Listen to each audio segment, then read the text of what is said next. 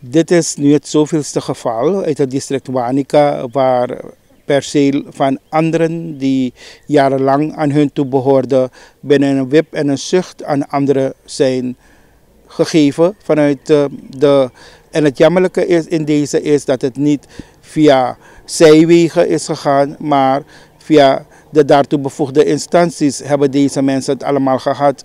Dat is nu het geval hier bij de heer Shailin, het perceel hier achter mij. Dat behoorde zijn schoonvader toe, intussen overleden in april. En heeft toen zijn dochter gevraagd om hier aan te vragen. Terwijl de familie dus bezig was bleek dat dit is toegewezen aan anderen. En het lastige in deze is dat de mensen nu dus borden hebben geplaatst, verboden toegang voor onbevoegden. Dus de mensen die het perceelland jarenlang hebben bewerkt, hebben onderhouden, kunnen nu niet zelf op hun eigen perceel. Het perceelland is 1,75 hectare en dat is intussen verdeeld aan 14 andere mensen. En de familie zelf, die heeft er niets gehad. Aan hun is medegedeeld dat ze zelf op, moet, op zoek moeten gaan naar domeingrond. En dan zal dat voor hun geregeld worden. En dat pikt de heer Scheile niet. Vandaar dat hij dit vraaggesprek doet. Maar intussen heeft hij ook wat andere stappen ondernomen. En zo is hij dus gegaan naar het kabinet van de president, waar een is ondergebracht van de heer, welke valt onder de heer Ramsekoel. En hij heeft daar dus dit onder de aandacht gebracht en de nodige stukken ingediend. De heer Shailin die doet een oproep aan de president voor een oplossing, want dit kan niet zegt de heer Shailin, dat grond dat al 85 jaren de familie toebehoort, van de ene op de andere dag aan anderen zijn toegewezen. Wij voeren nu naar het volgende verslag. Ik moet dit ook nog even daarbij vermelden. De heer Shailin die heeft aan privacyreden gevraagd om niet in beeld te komen, maar hij staat er wel om het interview te doen. Uh, meneer Ganes, dit perceel is uh, van... Ik bedoel dit perceel? Ja, ja. ja. Is van mijn vrouw, zijn vader. Mm, dus van uw schoonvader? Juist, ja. En we hebben al jaren hier geplant. Dichtbij de tien jaren. Mm -hmm. En we hebben, we hebben dus naar de stukken gezocht, naar de DC, maar er zijn geen stukken te vinden. Ja. Hoe bedoelt u, jullie hebben de stukken gezocht? Dus, de vader had een nieuwe aanvraag gedaan. Mm. En, Wat is dit, grondhuur? Ja, juist, ja, is grondhuur. Mm -hmm. Ja. En we waren toen naar de DC geweest, maar blijkt dat er niets is gevonden. Okay.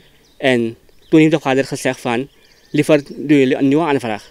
En we hebben toen een nieuwe aanvraag gedaan. Hoe lang is dat terug? Uh, is al twee jaar terug. Hebben jullie een aanvraag gedaan? Ja, meneer Genis. -hmm. En na die aanvraag bleek dat er na hoeveel maanden, zes maanden denk ik, komen mensen hier schoonmaken. Dus de straat maken aan die kant.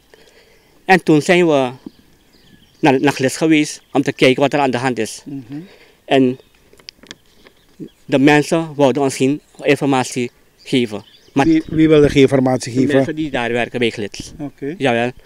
En toen hebben we deze stukken mm -hmm. gekregen ja. van hen. Dus dat ga ik dan even hier moeten houden. Ja. Dat is dan zo.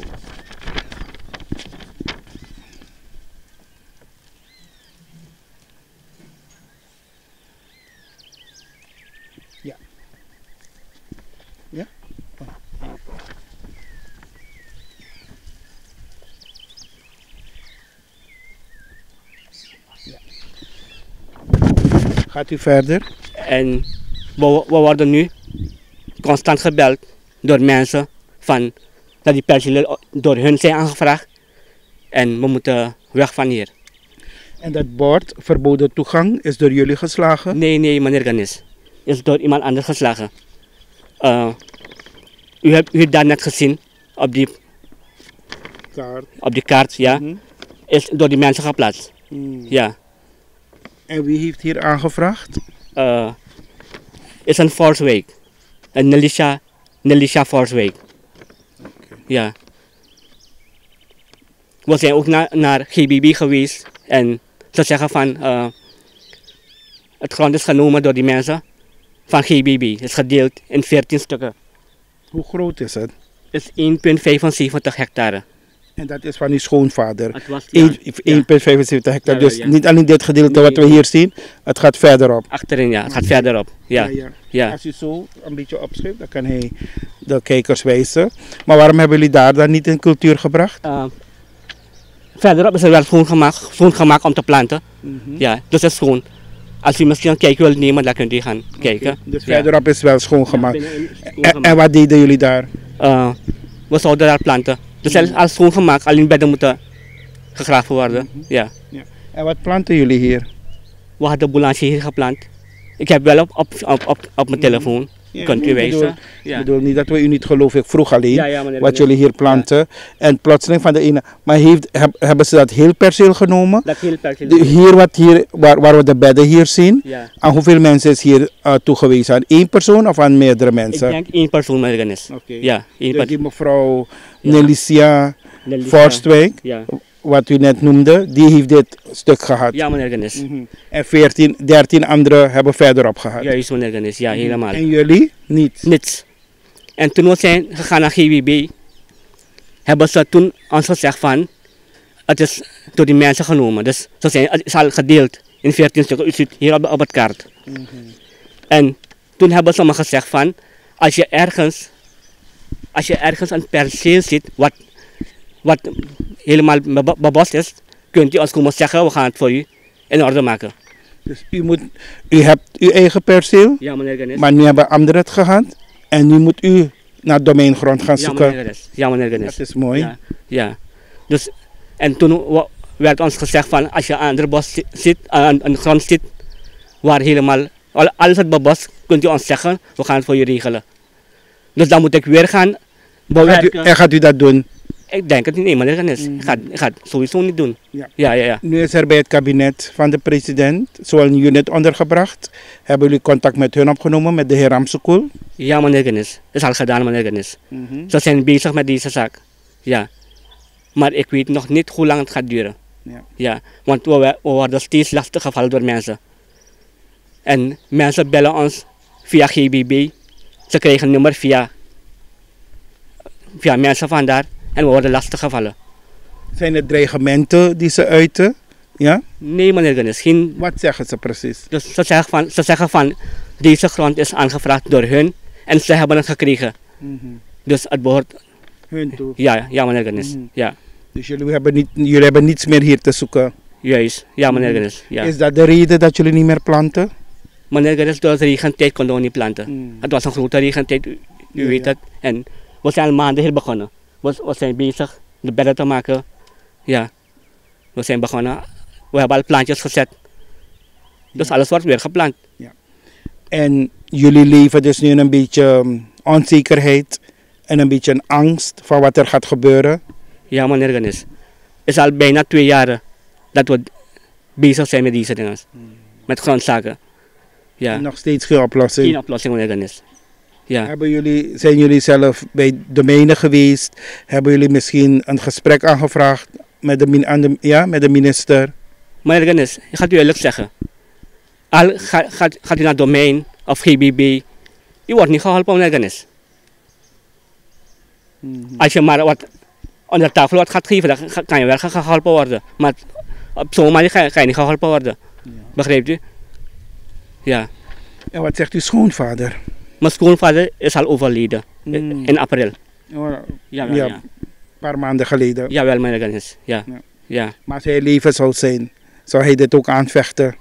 Ik denk van wel, meneer Genis. Want dit behoort al meer dan eh 85 jaar door de grootouder. Ja. Maar heeft alleen jouw vrouw het gehad? Of zijn er meerdere kinderen die het hebben gehad? Er zijn erfgenamen, maar is nu, omdat wij hier gingen werken op het perceel, is het aangevraagd door mevrouw. Want de vader heeft gezegd van, omdat er geen stuk is te vinden, dan doe je een, een nieuwe aanvraag. Dus dat heel terrein, dat eh, perceel, totale grootte, Ja. dat zijn door de veer, niet dat ze een stukje voor jullie hebben gelaten. Nee, meneer Genis. Alles hebben ze genomen. Alles hebben ze verdeeld. Ja. En de andere mensen komen ook. Want eh, ik bedoel, nee. ik zie hier is er een bord geplaatst. Zijn er, is er verderop ook borden geplaatst? Nee, meneer Genis. Omdat we hier al schoon hebben gemaakt en achterin, dus voorlopig komen deze mensen alleen. Ja. Maar hebben jullie al een confrontatie met elkaar gehad? Hebben jullie elkaar ontmoet? Uh, we hebben wel gesproken door de telefoon. Maar persoonlijk zo niet gezien? Nee, niet, niet gezien. Ja. Ja. Maar toen u ze aan de telefoon had, wat heeft u ze gezegd? ehm, Heeft u ze uitgelegd dat dit al 85 jaar in de familie is? ik heb ze uitgelegd. Maar ze vinden van ja, ze hebben het aangevraagd. En is toegewezen door de, door de, door de minister. Ja. Ja. En want ik, ik, zei, ik zei hem toen van eh, de kabinet, president-kabinet is bezig met deze zaken. Dat zei hij me van eh, geef de president een gronden uit. Is, is dat niet GBB? Dat hebben de mensen gezegd. Jawel, ja, meneer Ganes. Ja. U ziet het zelf Ja, ja. op de kaart. En de andere percelen zijn aangevraagd, zijn op namen van stichtingen. Ik lees hier, heb ik het goed, 3,4 hectare. Bekend als de Lebensweg nummer 55 en 57. Is dat hem waar we nu Uh, staan? meneer Ganes, dit perceel is 1,75 hectare. Hmm. En deze ernaast is van iemand anders, die ze ook hebben genomen. Dus dat is het totaal 3,4 Oké. hectare. Ja. Ja. Maar van uw schoonvader alleen Is- is 1,75 ja, meneer hectare. Ja, meneer Ganes. Oké. Ja. Ja, dus we zien wel hier, zoals ik de meneer hier met zijn stukken staat, we zien hier dat het wel gaat om een officieel stuk met een stempel, handtekening van Glis, plakzegel en alles. En ehm, ja, dit is het zoveelste geval hier aan de Malangweg, Celebesweg, Sumatraweg. Dat er op dergelijke manier percelen worden onteigend of van eh, mensen die het al jarenlang hebben en nu anderen het aanvragen en binnen een wip en een zucht dat allemaal krijgen. Ja. Nou goed, meneer Shailin, we hebben dus dit allemaal eh, vastgelegd. Ja. En we hopen dat er dus van hieruit dan een, ehm, ja, een oplossing mag komen. Had u een oproep aan ja, de minister, aan ja, in Suriname weet je het in feite helemaal niet meer wanneer het op grond aankomt. Ja, bij, op wie je in feite nu een beroep moet doen. Maar had u toch wel een beroep te doen op iemand? Ik zou de beroep op de president doen. Ik zit ook in de district Wanica. Dus ik zou een beroep op de president doen. Laten wij onze te- gronden terugkrijgen.